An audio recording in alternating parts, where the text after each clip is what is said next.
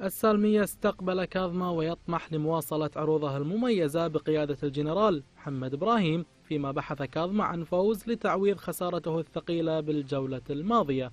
المواجهة أدارها الحكم السعودي فيصل البلوي والتهديد الأول أتى لكاظمة عن طريق الأردني أحمد عرسان والمنصور يبعد الكرة.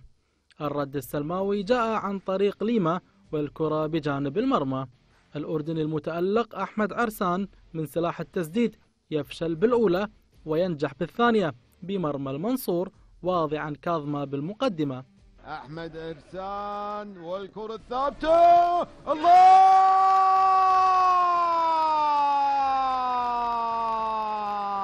ارسان محمد الهويدي كاد أن يعادل الكفة من تسديدة قوية تألق كنكوني بإبعادها عن مرماه.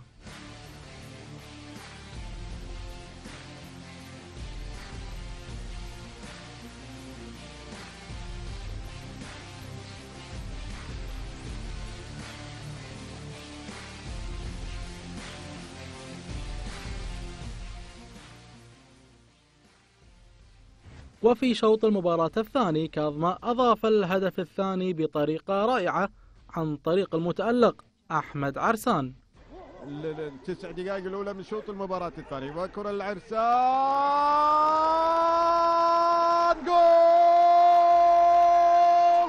السماوي حاول العودة عبر المتقدم أليكس ليما وكنكوني بالمكان المناسب. السلمية استطاع أن يقلص النتيجة بأقدام البديل. فهد الرشيدي. السالمية رمى بثقل باحثا عن تعديل النتيجة لكن دون جدوى. ليأتي بندر بروسلي من كرة مرتدة ويعزز من تقدم فريقه بهدف ثالث لتنتهي بعدها المواجهة بفوز كظماوي بثلاثية مقابل هدف. إحنا اليوم لا هذا عيالنا ولاعبينا ونعزهم ون... كلهم على رأسنا. لكن أنا أعتقد هم الشباب عندهم أكثر ويقدرون يعطون أكثر. نتمنى التوفيق للجميع. ماضي على الحكم؟ الحكم تحكيم زين. يعني في في في لعبات يعني ما تأثر مو غير مؤثرة. فاحنا اللي لا- لاعبينا لازم يتعودون ان وحكامنا أيضا لازم يتعودون ان مو كل شيء اي لمسة تحسبها فاول. هذه ما هي كرة سلة. اليوم آه، قاعد نتكلم التحكيم قاعد يعني لذلك تشوف منتخبنا أيضا ما يعطي لأن إحنا لاعبينا مو متعودين على اللعب القوي. الأمانة إحنا بعد اللعبة الأخيرة أمام نادي القادسية وعدنا نفسنا وعدنا مجلس إدارة وعدنا الجهاز الفني والإداري آه، أن نقدم آه، ونرجع آه، بثلاث نقاط مهمة تعزز آه، من فرص آه، المنافسة على المركز الأول في الدوري. اللهم لك الحمد إخواني اللاعبين قد الوعد.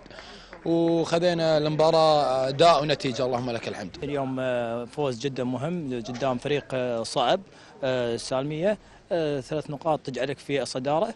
والشيء اللي كان ناقصنا في مباراة القادسية اللي هي الروح القتالية. وعوضناها في مباراة السالمية. نقول ما استحقينا الفوز اليوم. ما لعبنا يعني نفس المباريات اللي طافت. كانت شيء طبيعي هذا رتم الفريق ينزل. الفريق ممكن لعب مباريات فترة يعني الأقسام اللي طافت لعب مباريات صعبة. وشيء طبيعي إن الرتم ينزل بأي مباراة متوقع لكن نهاية القسم نقول الأول عندنا قسم كامل نقدر نراجع حساباتنا إن شاء الله ونعيد حساباتنا من جديد بإذن الله. السالمية يخسر لأول مرة تحت قيادة المدرب محمد إبراهيم والخسارة الثانية للفريق بالمسابقة بعد خسارة حاتم المؤدب في الجولة الأولى أمام النصر.